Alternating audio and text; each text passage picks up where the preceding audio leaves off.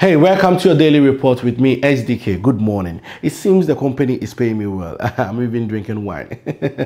so today on our forecast, we have women on slot one. Yes, it will be very cloudy and rainy around this area. It will be around 90 to 10 you know, at this area. We will experience a lot of wetness over there. Visitors are expected to put on their raining coats when entering these areas. Also, there will be a lot of sunny Brookmen over there.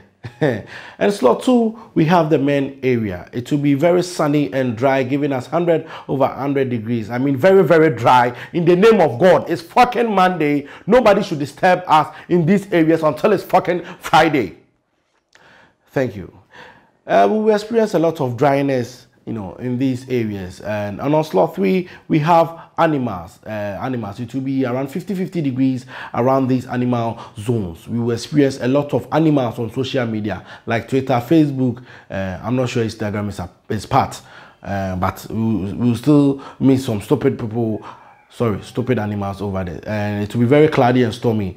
And as I'm talking to you now, you know, there are some animals that I'm seeing like they're up pocket over there.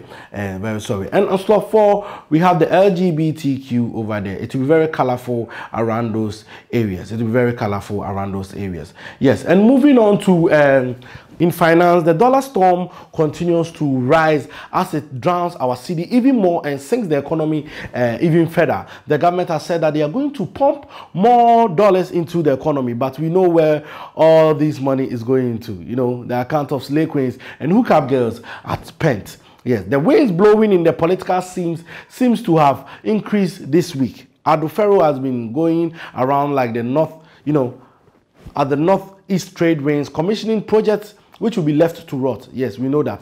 We will see him grow some hair before any of these projects start working. Where there is thunder, there is lightning.